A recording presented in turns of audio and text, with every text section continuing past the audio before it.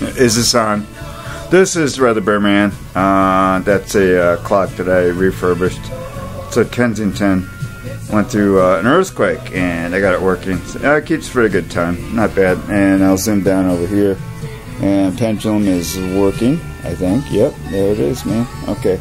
Behind me is a 68 year old uh, Kugel clock. Hmm. Oh, there it is. Okay. So I'm on this Blackberry, kind of jittery here on the camera. I just reconditioned the BlackBerry. Uh, reloaded the operating system. This is a touchpad. Hmm, go figure. So, uh, a little bit of research here, and uh, this thing's for sale, pretty cheap. I'll sell for a hundred bucks. Make or make me an offer. Okay, this is Red the Bearman sign out. Thank you for listening.